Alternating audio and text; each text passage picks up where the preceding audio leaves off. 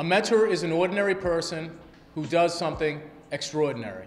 A mentor makes a difference by choosing to invest in the life of a young person. A mentor helps a young person look towards the future, reach for their goals, and dream big. The neighbor who treats the kids on the block as their own. The church member who spends time with kids in the youth group. A mentor shares their experiences, shares their hobbies, and shares their time. You don't have to have a particular set of skills or background. You just have to care and be willing to take the time. You can help. A mentor is a brain to pick, an ear to listen, and a push in the right direction. The coach who does so much more than teach you how to shoot a basket.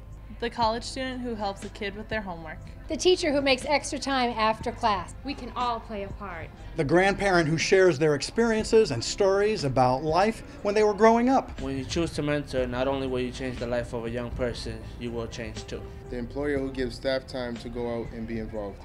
Who can make a difference? Some say it takes a village. We believe it takes a city of champions. Are you a champion? Be a mentor. Be a mentor.